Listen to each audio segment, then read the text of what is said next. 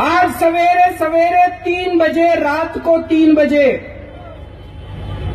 प्रधानमंत्री श्री नरेंद्र मोदी जी ने सीबीआई के डायरेक्टर को सस्पेंड कर दिया।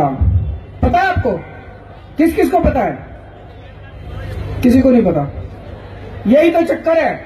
ये टीवी वाले दिखाते नहीं है। हमें पता नहीं चलता। ये टीवी वाले आजकल सुबह से शाम तक मोदी मोदी, आरती उतारते रहते हैं मोदी जी की। असलियत नहीं बताते। आज सवेरे तीन बजे प्रधानमंत्री जी ने सीबीआई के डायरेक्टर को सस्पेंड कर दिया। क्यों कर दिया? एक राफेल घोटाला हुआ है। राफेल का नाम सुना है लोगों ने? कईयों ने नहीं सुना, उनकी जानकारी के लिए बता। राफेल एक हवाई जहाज़ का नाम है। लड़ाकू जहाज़ है। सेना खरीद रही है उस जहाज़ को। 600 करोड़ का जहाज़ है। है जी? 546 उनको ज़्यादा पता है। 546 करोड़ का, मैंने तो 600 कह दिया। वो कह रहे हैं 546 करोड़ का जहाज़ है। उसको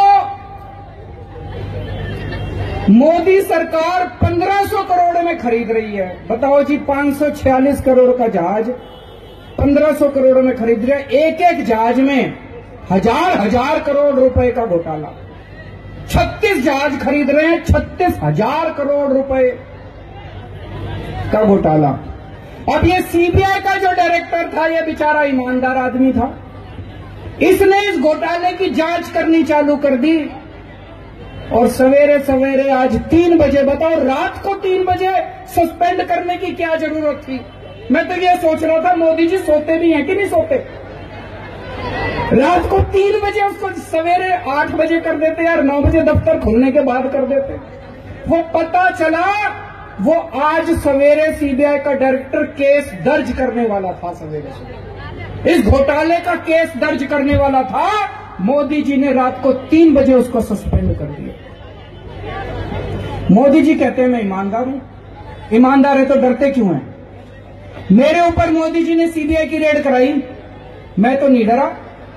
मैं तो उनको सीबीआई वालों को रोटी खिलाई, खाना खिलाया, स्वागत किया, चाय पिलाई, कोल्ड ड्रिंक पिलाई, और पूरी सीबीआई की रेड के बाद केजरीवाल के घर क्या मिला? चार मफलर मिले।